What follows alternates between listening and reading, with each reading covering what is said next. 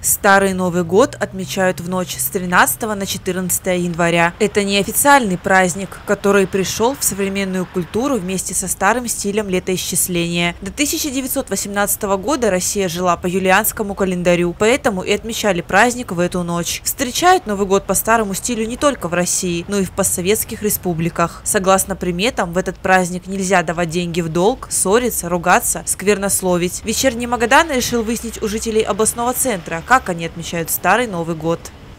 Старый Новый год с хорошими друзьями, загадывать желания. Старый Новый год никак дома спать. Ну как, я- как я могу отмечать? Не, сама даже не знаю. Просто, может быть, соседка посидим, поговорим, телевизор посмотрим, поздравим своих родственников с Старым Новым годом. Ну, еще как можно его встретить?